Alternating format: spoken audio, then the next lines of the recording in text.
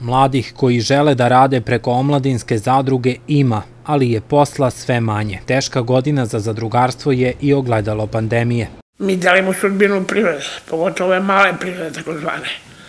Jer naši, radnici, naši članovi su uglavnom angažovani uh, u, malim preduzećima i prirodnim društvima.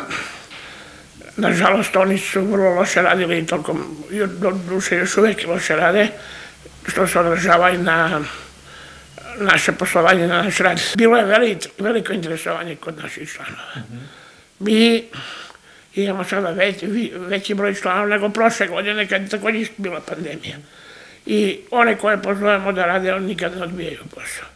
Dok je nekada tokom takozvanog zlatnog doba zadrugarstva u Pirotskoj omladinskoj zadruzi dnevno bilo angažovano i po 600 zadrugara u sezoni berbe voća. Danas ovog posla nema, ali i mnogih drugih. U maju i junu gotovo i da nije bilo angažovanja. U avgustu i septembru je na dnevnom nivou bilo oko 40 radnika, a od početka oktobra ih je oko 30.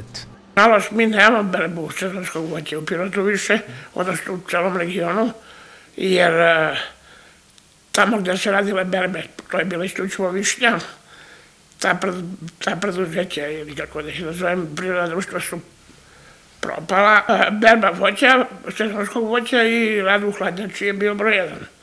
Gde i u hladnjači smo angažovali nekad i po sto čoveka, zavisno koliko stigne voće. A sada trenutno se angažuju najviše u, u gostelstvu. U, I to u, uglavnom u kafićima i kafanama. Mada imamo ovako po nekoliko angažovanih i u drugim preduzećima. Zadruga ove godine ima oko 400 članova, što je skoro duplo više u odnosu na prošlu godinu. Omladinska zadruga Pirot postoji skoro četiri decenije.